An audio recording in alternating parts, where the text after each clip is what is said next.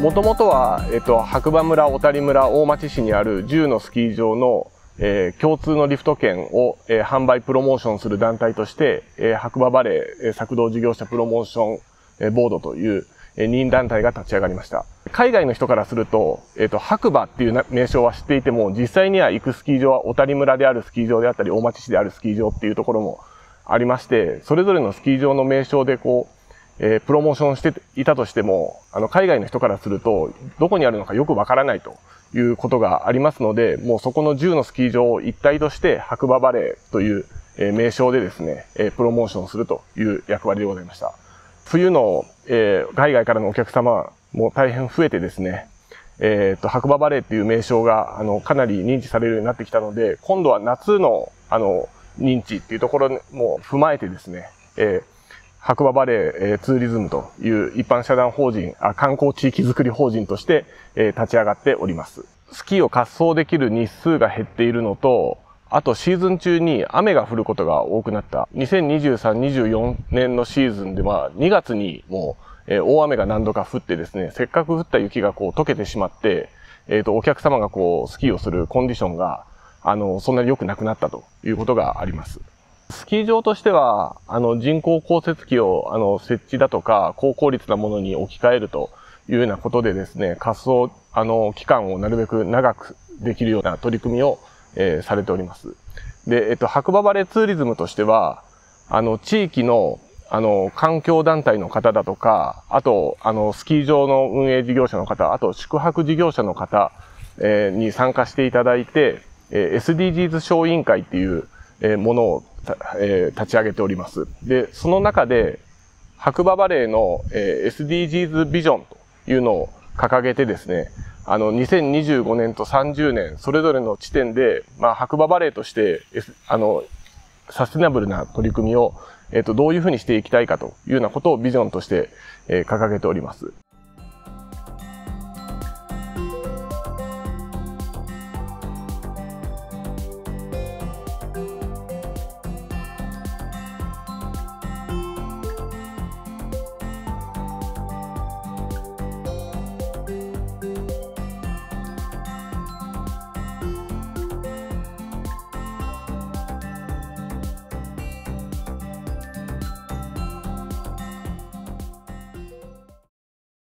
温暖化している影響でスキーの滑走日数が減っているっていうところがあります。そのためにですね、あの、今までは冬中心に集客していたことを、やはりグリーンシーズン、夏ですね、の集客も積極的にやっていかなければいけないというようなことで、えっ、と、夏の集客についても力を入れております。冬も含めてですね、来ていただけるお客様たちが快適だけどもサステナブルな行動をしているというようなことを実感していただけるようにですね、あの、再生可能エネルギーの活用であったりだとか、ゴミのコンポスト化だったり、地域一体となって、え取り組むようにして、あの、お客様はそちらに来てですね、サステナブルな、あの、ことをしながら、あの、ウィンタースポーツを楽しむと、またグリーンシーズンのあのトレッキングだとかいろんなアクティビティを楽しむというようなことを、え実施しております。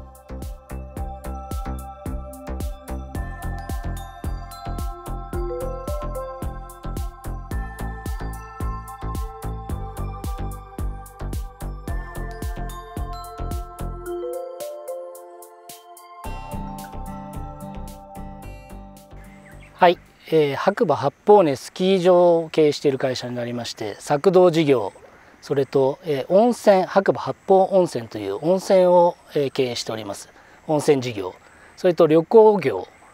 そして不動産業という地域と密着した事業を展開しております、えー、白馬村がここ10年まあ、100年統計みたいな気温の気候の変動があるんですけれども常にこう右肩上がりで気温が上昇していて私たちは12月の1日にスキー場をオープンするということで毎年行っておりますがだいたい標高の1500メートルぐらいまで雪が降るんですけれども山麓の800メートル地点この辺りに雪がつくのが、えー、以前は12月の20日ぐらいだったんですが、えー、最近は12月のクリスマスを超えて年末に差し掛からないと雪がつかなくなってしまっていると、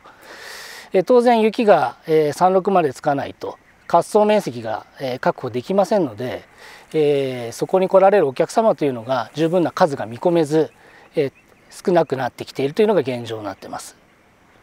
白馬村はやはりあの定住人口が少なく、えー、外から雇用しなければいけないという環境になってますのでスキー事業を行うには大変たくさんのスタッフが必要なんです。であの冬に、えー、多くのスタッフが、えー、働いていただくんですが、春になりますと雪解けとともに雇用がなくなり、えー、夏場は閑散とする時期が続くというのが、えー、以前の白馬でした。まあ、これを改善しなきゃいけなく、えー、また冬のサービスの品質向上には通年雇用というのが必要でその、えー、まあ狙いもありまして、えー、そして何よりもこの雄大な自然こういったものをお客様に提供することで、えー、白馬が活況になっていくとそういうことを目指して夏山登山というそういう事業を始めております。リフトを使った夏山登山は本格的な登山が、えー、醍醐味で標高 3000m、え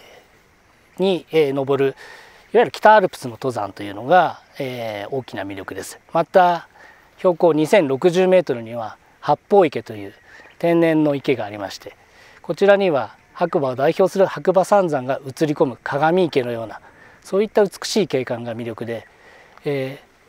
ー、アメリカの CNN こちらでも、えーまあ、絶景南線みたいなものがありましてこちらでも選ばれた。非常にあの魅力あるところ。こういったものが1時間ぐらいのハイキングトレッキングで楽しめるというのが大きな魅力です。また白馬八本温泉につきましては、えー、pH ですね。アルカリ泉になるんですけれども、えアルカリの濃度が11.2という高い高濃度のアルカリ泉になってまして、えお肌がすべすべする、えそしてえ、アルカリですからもう石鹸水のようにあの滑らかな泉質になります。そしてまた水素が含まれている天然の、え、水素温泉ということで大変貴重な温泉になっています、え、一方グランピング施設につきましては、え、開業しましてこちらは夏の、えー、宿泊のお客様をこの大自然の中でお迎えするというそういった商品になります。で、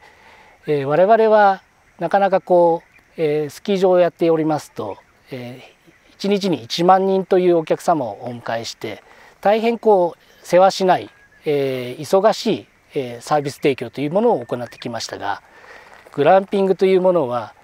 約30名のスタッフで16名のお客様をお迎えするという大変こうおもてなしの心を持って、え、この大自然を満喫していただこうという、え、大きな魅力を持ったチャレンジするような形の商品になっています。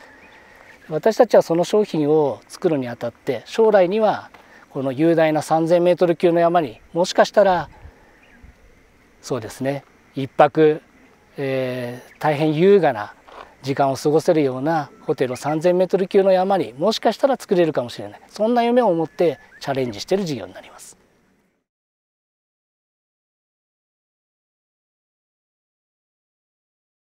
私たちは、えー、リフトの再エネ化というのをずっと進めてきました弊社のリフトに関しましては全てのリフトが再エネ化してあるんですが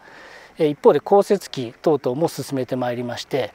全て完了している状態ですただスキー場全体で見ますとあのパートナー会社もありますのでそちらの方も含めて目標を達成したいのが一つ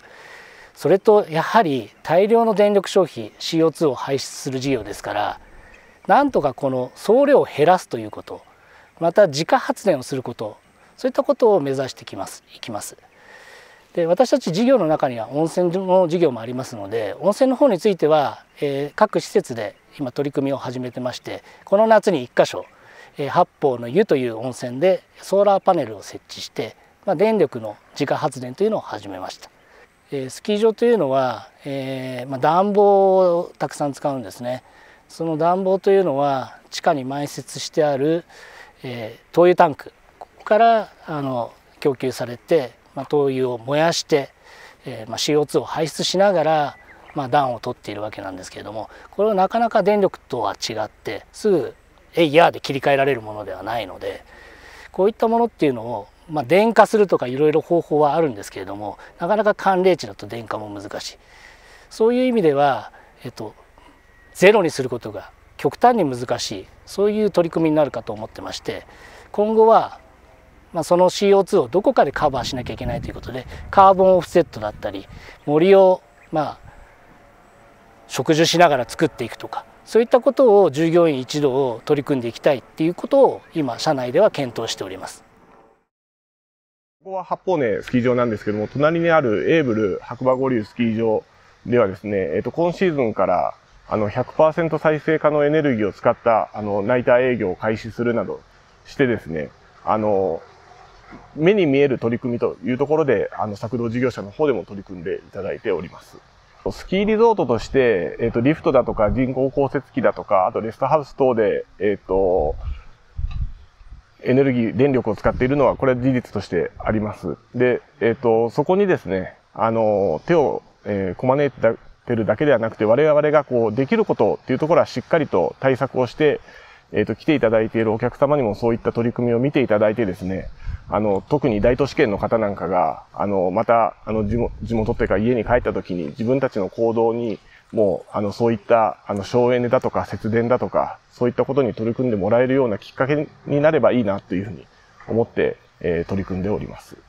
我々海外の方にも、あの、実際に現地に赴いてですね、白馬バレーっていう名前を、キーリゾートだけども、グリーン機、夏のパンフレットだとか、あの、広告宣伝の、あの、素材を持って、出かけてですね、なるべくこう、夏の営業に皆さん海外からも含めてですね、来ていただけるような、あの、取り組みを今積極化しております。えっ、ー、と、まずはですね、あの、SDGs ビジョンの中で25年に、非常外会社も各事業者の方も気候変動に関する取り組みをあの取り組むというあの項目があります。そこをあの地域の方々にあのきちんと説明して理解していただきながら、ですね、きっちりとそれをあの達成することっていうところがあの一番重要かなっていうふうに思ってます。で、その次には30年のあのビジョンというところがありますので、そこをあのもうしっかりとこうやっていくために、まず25年っていうところがあの一つの節目としてあるので、そこをあの今年来年というところでしっかりやっていきたいなというふうに考えてます。